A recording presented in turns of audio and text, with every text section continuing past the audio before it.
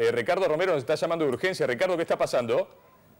Bueno, de repente se escuchó una detonación desde la comisaría novena de aquí, de Lomas de Zamora, una detonación que provocó una estampida por parte de los vecinos que hace minutos mostrábamos con una seria protesta aquí en esta zona de Lomas de Zamora y observan cómo la Guardia de Infantería acaba de salir del interior de la comisaría para resguardar el frente de esta sede seccional comunal y los vecinos, como pueden observar del otro lado de la calle Cirito, se han refugiado en alguna de las casas, han arrojado algunas piedras, pero destacamos, de repente, sin mediar palabra y en la tranquilidad de esta protesta, protesta que mantenían los vecinos, se escuchó una detonación muy fuerte, parecida a una bomba de estruendo, que salió desde el interior de la comisaría, por lo menos eso es lo que pudimos percibir nosotros, también sorprendidos por el hecho, y es así como los vecinos se dispersaron rápidamente y se mantienen expectantes y con mucha, mucha bronca aquí en la zona de la seccional novena de Lomas de Zamora.